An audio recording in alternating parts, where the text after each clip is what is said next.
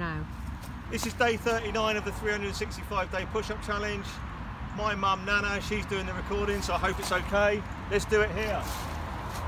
The stinky old baths. Oh, they stink.